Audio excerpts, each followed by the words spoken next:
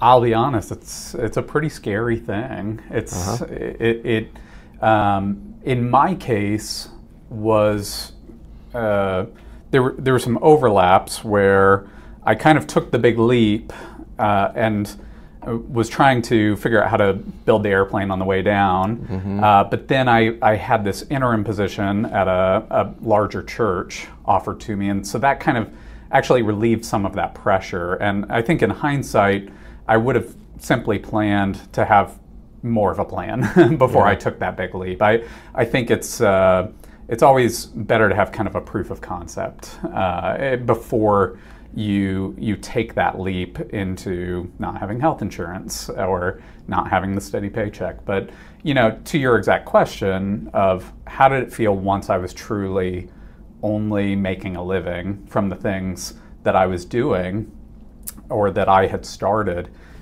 it feels great. If you are able to take that step into never having a boss again, like that's that's a pretty good feeling. Yeah, it I really bet. is. And feeling like uh, you can look at the thing you built and and kind of have that satisfaction of like I built this. Even we even get that at age two when we put together our first Legos.